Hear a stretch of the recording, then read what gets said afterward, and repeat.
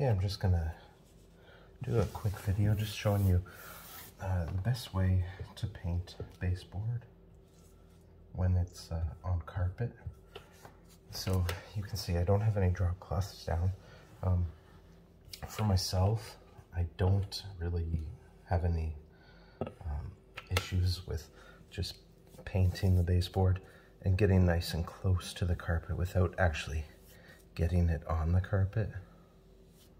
So you can see I'm just gonna just get right down to the bottom there. Um, I like to use these inch and a half brushes, but for somebody that's not too comfortable with um, doing the brushwork down to the carpet, I would say get, get yourself one of these um, drywall um, drywall knives. Something that can, uh, it's so thin that you can easily get it under the baseboard where it meets the carpet. And then you don't have to be so cautious and you don't have to worry about getting it on to the carpet. So you can see how easy that is. Now some, it might be a little bit tight, like that's a bit tight, but you can see it just, it works really well to, uh, to be able to paint up against the carpet.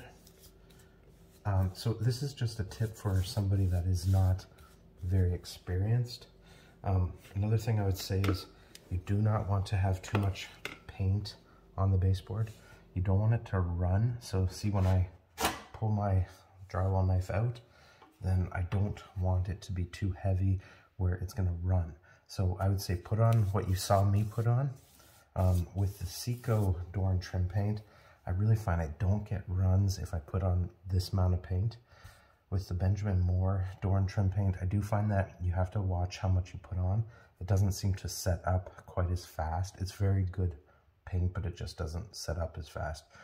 With the Sico uh, door and trim paint, this stuff, I find it sets up very quick, so I don't worry about um, getting any paint runs. So uh, yeah, just a tip for the DIYer uh, trying to paint baseboard on carpet.